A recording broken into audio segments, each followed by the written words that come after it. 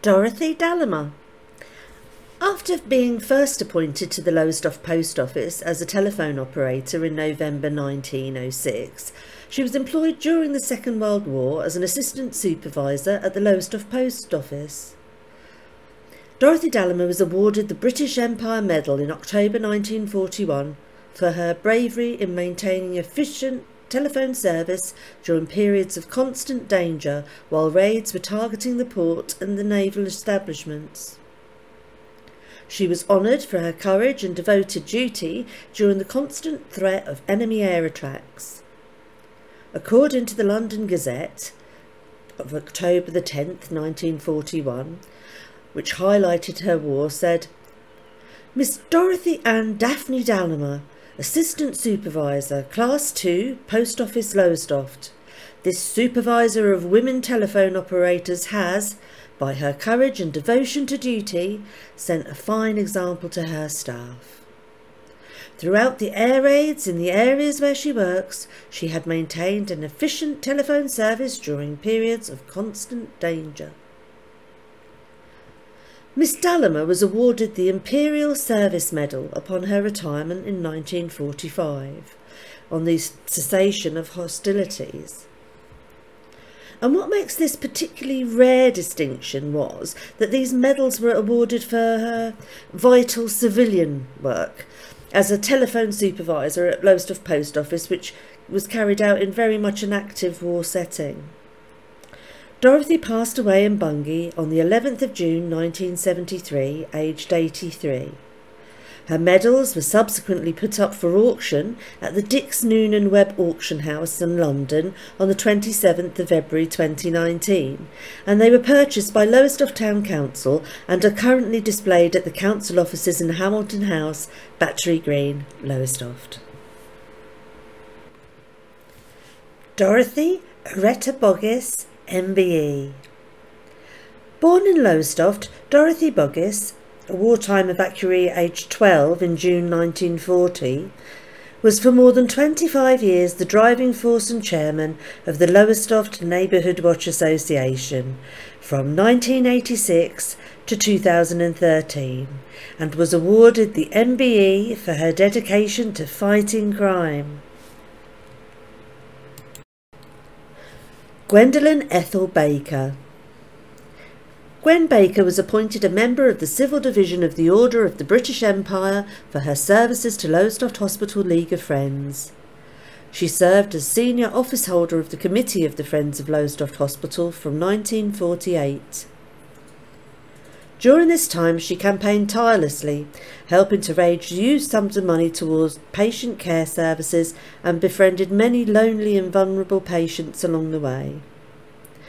She was instrumental in the formation of North Suffolk Hospital and Equipment Building Appeal in 1966 and remained chair of the organisation until 2000 when, due to her failing health, she took on the role of president in recognition of over 50 years, the Voluntary Service Award in Lowestoft Hospital was named after her. She worked in the Post Office for 41 years, serving as branch secretary of the Post Office Workers Union for 18 years. Her support of the widows and children of deceased postal workers during this time was particularly noteworthy. She also served as a magistrate for 29 years and spent years as a volunteer organiser of the Lowestoft Carnival. The award of the MBE was in recognition of her tireless commitment, valuable contribution, and proud record of unpaid civic service, doing so much for the community of Lowestoft. Gertrude Truus Wijsmuller Meyer. Gertrude was not from Lowestoft. She was Dutch. In the late 1930s, the clouds of wars were gathering, and in December 1938, the long shadow of what would become the Holocaust touched Lowestoft. Active in the German and Austrian refugee movement in the 1930s, in December 1938, Gertrude courageously flew to Nazi occupied Austria and was arrested. She used her arrest to secure a meeting with Adolf Eichmann, with whom she then personally negotiated for the release of 600 mainly Jewish children who left Vienna on the second Kindertransport five days later.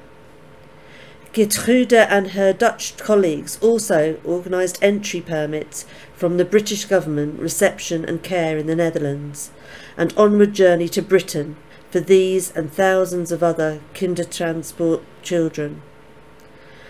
The 529 Kindertransport children who arrived in Lowestoft on the 12th of December 1938 and who spent their first few weeks of safety here as traumatised refugees owe their lives and the lives of their children and grandchildren to this remarkable and formidable lady. Vera Brittain. Vera Brittain's link to Lowestoft is evident in her autobiography, the best-selling book Testament of Youth, published in 1933. Vera gives a vivid and passionate record of the years 1900 to 1925, in which she conveyed an entire generation's common experience of the First World War, which fell between 1914 and 1918. Vera writes of her visit to Lowestoft in 1915 to meet her boyfriend, Roland Leighton, who was an army officer. His family lived in Heathercliff in the north of the town, overlooking the sea. Vera postponed her studies at Oxford University to serve as a voluntary aid detachment nurse, that's a VAD, in London, Malta and France. Sadly, Roland was killed shortly after being sent to France, not long after their Lowestoft meeting. A pacifist, prolific speaker, lecturer, journalist and writer, Vera devoted most of her energies to the causes of peace and feminism. She also wrote Testament of Experience, published in 1957, which covered the period 1925 to 1950.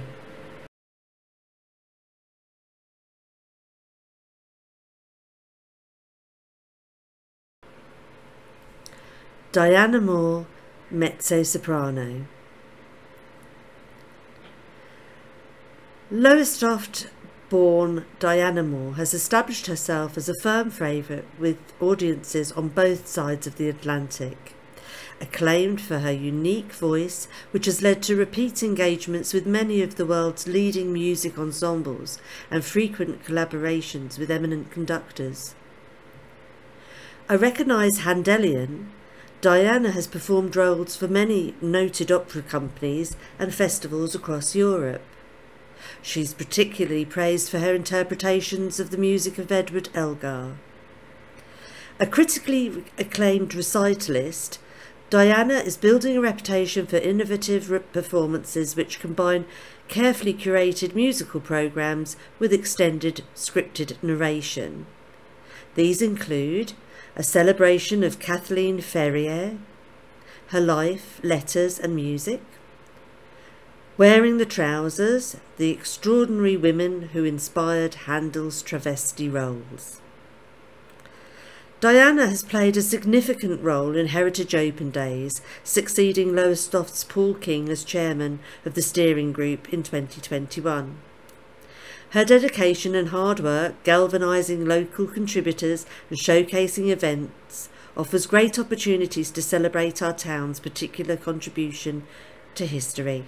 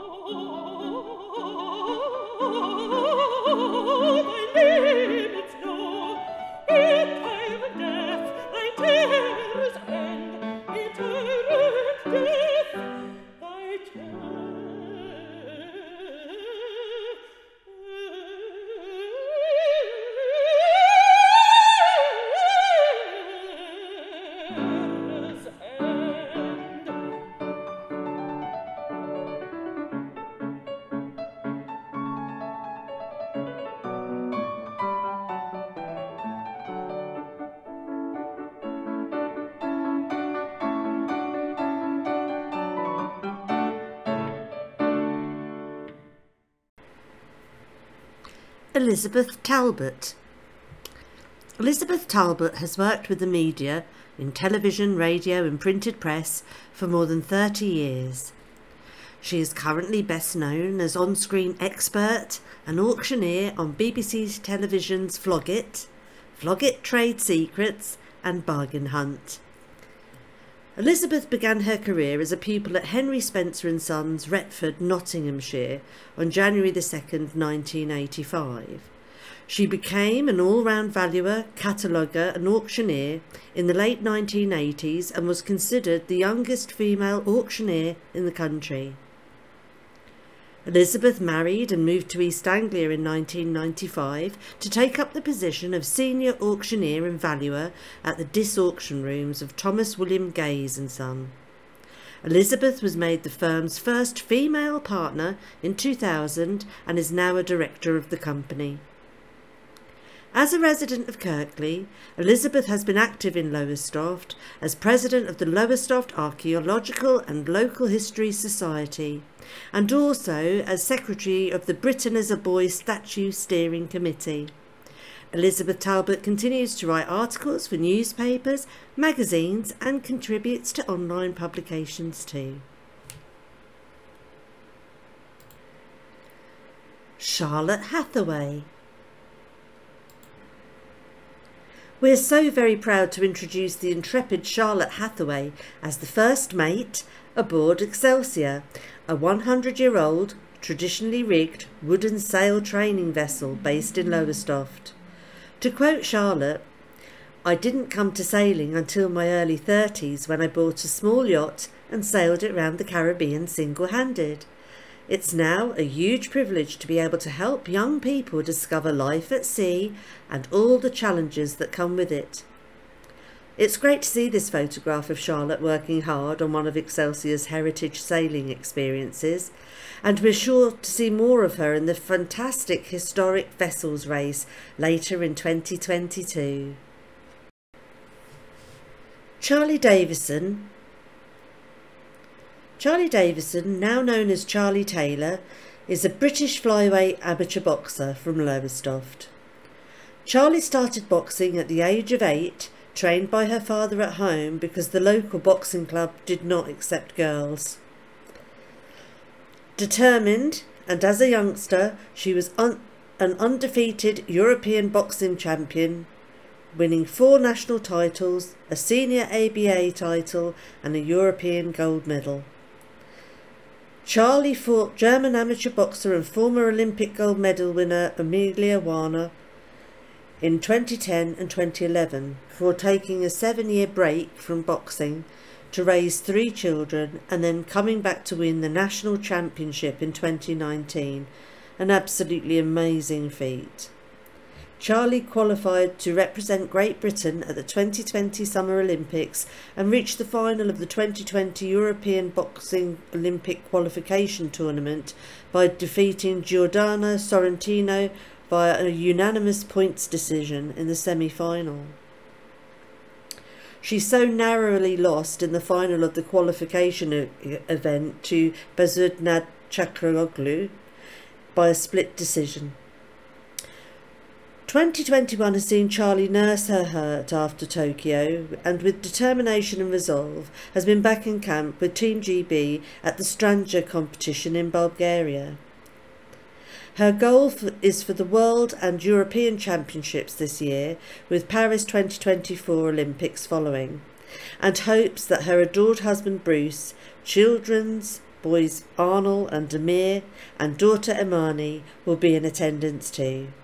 One thing is certain Charlie truly is an inspiration and hero here in her hometown.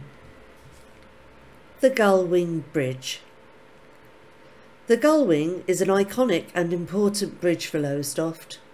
Opening in 2023, the bridge will be a much needed third crossing over the town's Lake Lothing. The Gullwing will reduce traffic congestion in the town regenerate the area and attract new investment for the local economy. Let's look at the women involved in its construction and delivery. Firstly, Lizzie Tapper. She's the Senior Quantity Surveyor. Lizzie Tapper works on the Gullwing Bridge project and is responsible for reviewing subcontracts, valuing change and carrying out payment assessments. Lizzie really enjoys the job, particularly going out on site to measure and value the progress being made. Isabel Bunn is now the apprentice quantity surveyor on site. Isabel is a degree apprentice quantity surveyor working on the Gullwing project and works alongside various other personnel on site in order to gain greater knowledge and experience within the industry. Isabel undertakes activities such as risk management, recording progress on site, and measuring and valuing change. Isabel tells us she truly enjoys watching progress on site as drawings become reality. The next person is Celine Vercock. She's the resident bridge engineer, works for Arup and was involved in the design of the bridge and is now the resident engineer on the site. She will be observing the ongoing construction works and providing technical support and know-how to the team. Our football heritage and future. Paige Shorten. Paige Shorten is UEFA A and FA Youth Award coach who specialises in coaching female footballers. Her current roles include the FA Women's National Talent Camp Assistant Coach, Ipswich Town Women's First Team Technical Coach, St Joseph's Female Football Coach, FA Talent Reporter, whilst running her own P1 P2 coaching business for female footballers in the East region.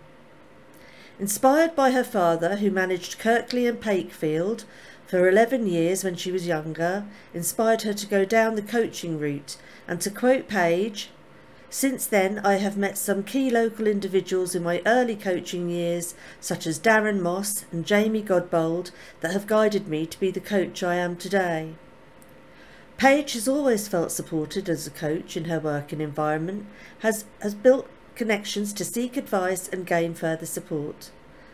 When asked about her most memorable moment, Paige responded, getting to the last 16 of the FA Cup to play against some of the best players in the world. The fact that there is a full-time female development officer in counties FAs and more female professional clubs on the rise shows that information is out there on becoming a coach. Paige tells others seeking the career that you just need to be proactive and make contacts as we are all in the game to support the next generation. Waveney Football Club Waveney Football Club are one of the largest female football providers in the country and currently have 15 teams starting at under 8s right through to a ladies team. In addition, there's also a highly successful Wildcat Centre with the aim of giving girls 5 to 11 years old an introduction to football through fun-based football activities. And at the end of a 16 week programme, which usually starts at Easter, they look to find a team for all the girls to continue playing within the club.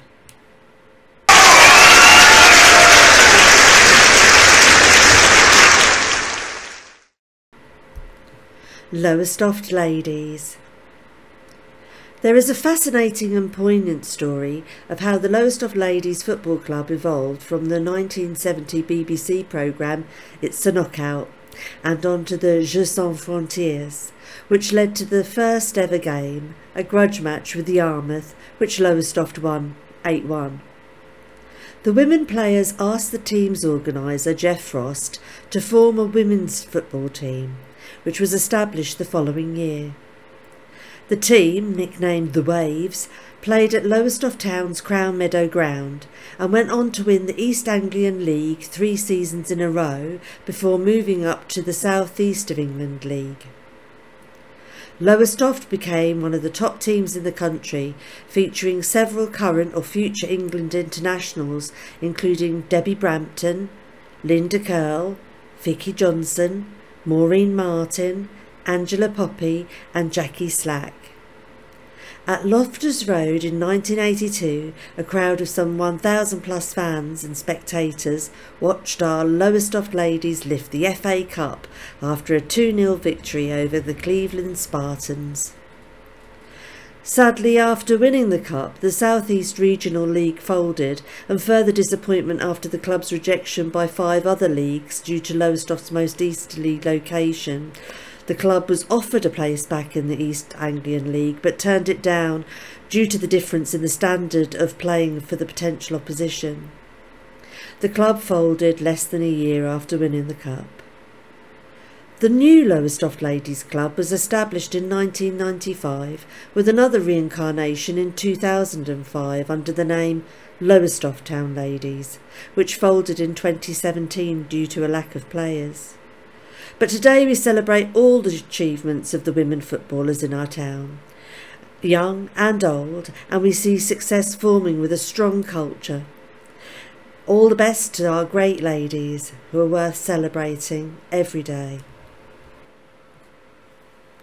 Sue Barnard the town councillor Sue Barnard sadly passed away on Tuesday, February the 2nd at the James Paget University Hospital in Gorleston.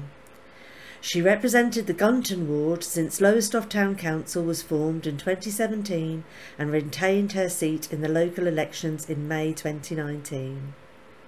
Sue was a dedicated and energetic councillor representing the Gunton ward and had a large majority which was testament to how well thought of she was in her local community. Sue served on many of the town council's committees and had a particular interest in open spaces and the local historical environment. Her love and knowledge of gardening and plants was beneficial to the council, including many voluntary hours she spent planting bulbs in the Sparrow's Nest and Arnold's Bequest. Sue will be greatly missed by her fellow councillors and the officers of the Town Council. Miss Barnard, who was born in Lowestoft and lived in the town for most of her life, was on six council committees, including Planning and the Climate Emergency Committee, as well as five subcommittees and the Triangle Market Working Group. As well as her work in the Town Council, Miss Barnard was an active member of the Gunton Residents Association, as well as the town's branch of the Suffolk Family History Society, and also helped to establish the Friends of Dip Farm Group. The environment was her main thing, and her last words were to ask that people don't send cards as they are, are not environmentally friendly, which was just typical Sue. She was a very good person and didn't let anything get in her way. She will definitely be missed by her colleagues and indeed the residents in the town of Lowestoft.